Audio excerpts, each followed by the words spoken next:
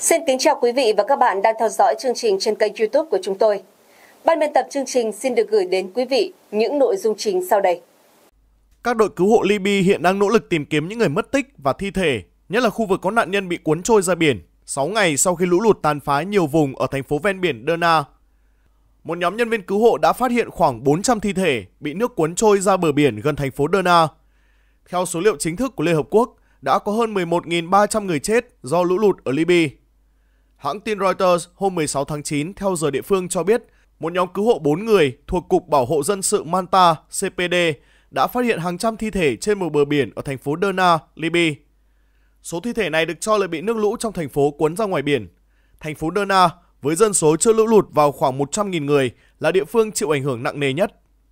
Báo cáo của Liên Hợp Quốc cho biết những con số này được dự đoán còn tăng khi các đội tìm kiếm và giải cứu vẫn đang làm việc không mệt mỏi để tìm kiếm người sống sót.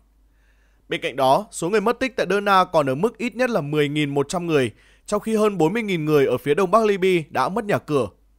Văn phòng điều phối các vấn đề nhân đạo của Liên Hợp Quốc OCHA cho biết, với hàng ngàn người mất nhà cửa đang di chuyển đến nơi khác, rủi ro đến từ địa lôi và vật liệu nổ trong chiến tranh RVK để lại sau nhiều năm xung đột tăng đáng kể. Điều này do nước lũ đã cuốn trôi số địa lôi và RVK trên. OCHA cũng khẳng định gần 300.000 trẻ em bị ảnh hưởng bởi lũ lụt sẽ đối mặt với nguy cơ nhiễm bệnh tả, suy dinh dưỡng, tiêu chảy và mất nước. Số trẻ này còn có thể bị đánh đập hoặc bóc lột. Đối với anh Muhammad Al-Okali, một người dân Libya sống sót sau thảm họa vỡ đập, khoảnh khắc đối mặt dòng nước lũ khi vỡ đập ở Libya sẽ mãi khắc sâu trong tâm trí anh. Al-Okali kể với phóng viên Al Jazeera, đã ai từng chứng kiến cảnh tượng sa mạc biến thành biển chỉ trong nháy mắt chưa? Sau khi trận bão Daniel quét qua ngôi làng Al-Mukhaili, nơi tôi sinh sống, Điều này đã mang tới cho chúng tôi một cảm giác yên bình giả tạo. Khi đó chúng tôi đã yên tâm đi ngủ, rồi bất chợt vào lúc 0 giờ 30 phút hôm 11 tháng 9, không hề có bất kỳ lời cảnh báo nào, nước lũ bắt đầu tràn vào trong nhà. Lập tức, An Okali cùng với các thành viên trong gia đình leo lên mái nhà để lánh nạn. Khi đó anh đã nhận ra quy mô và cường độ của trận lũ. Anh An Okali cùng một số người bạn khi đó cảm thấy bản thân họ phải có trách nhiệm với những người hàng xóm và cộng đồng sinh sống ở làng An Mui Mukhaili bởi nhiều người hàng xóm vẫn còn mắc kẹt bên trong những ngôi nhà khi họ không kịp trèo lên mái.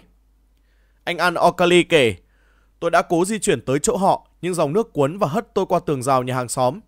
Vài phút sau, tôi phải trèo qua bức tường một cách khó khăn và chứng kiến những người hàng xóm đã trèo lên nóc tủ quần áo để chống chọi dòng lũ.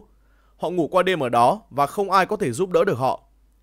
Theo An Okali, những người dân làng Mukhaili sống sót sau trận lũ đêm đó đã phải sinh hoạt trên những mái nhà hoặc trên nóc của những đồ dùng gia dụng bởi nước lũ luôn ở mức cao và họ không biết chuyện gì đang xảy ra với thế giới bên ngoài khi nhiều đường dây điện đã ngừng hoạt động.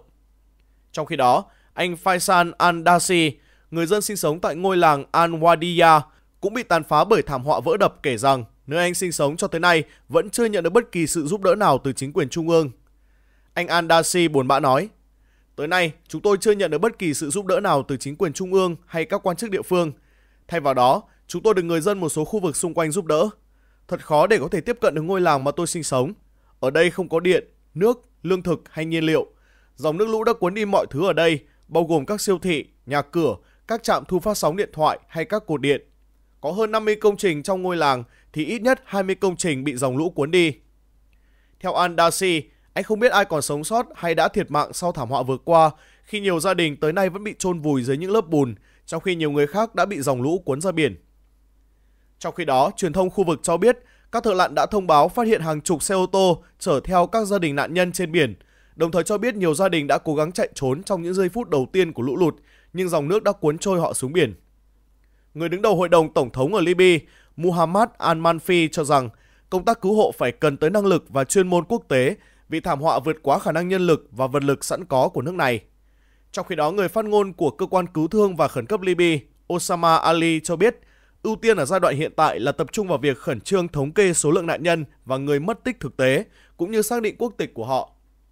Trong bối cảnh con số thương vong dự kiến tiếp tục tăng lên khi các đội cứu hộ vẫn đang nỗ lực làm việc sau một tuần xảy ra thảm họa do cơn bão Daniel gây ra, tình hình nhân đạo ở khu vực miền đông Libya ngày càng xấu đi, đặc biệt là ở thành phố Derna. Giám đốc Trung tâm Kiểm soát Dịch bệnh Quốc gia thuộc Chính phủ Thống nhất Quốc gia Libya, Haider al-Sayed đã ban bố tình trạng khẩn cấp trong một năm ở tất cả các khu vực phía đông – do lo ngại về sự lây lan của dịch bệnh khi các thi thể vẫn còn ở dưới đống đổ nát bị phân hủy hoặc hệ thống nước thải bị hư hại và gây ô nhiễm nguồn nước. Cơ quan y tế thuộc chính phủ thống nhất quốc gia Libya vừa qua đã ghi nhận khoảng 150 trường hợp bị ngộ độc do nguồn nước uống bị ô nhiễm. Chính quyền Libya kêu gọi người dân thành phố Derna không nên sử dụng nước ngầm có khả năng bị ô nhiễm, thay vào đó chỉ sử dụng nước đóng chai. Ngoài ra tại các khu vực lân cận, nơi chứng kiến nhiều năm xung đột vũ trang, Liên Hợp Quốc đã cảnh báo về sự nguy hiểm của bom mìn bị cuốn theo dòng nước lũ từ nơi này sang nơi khác và gây ra mối đe dọa cho những người đi bộ. Những nội dung vừa rồi đã khép lại chương trình của chúng tôi. Cảm ơn quý vị đã quan tâm theo dõi. Xin kính chào và hẹn gặp lại.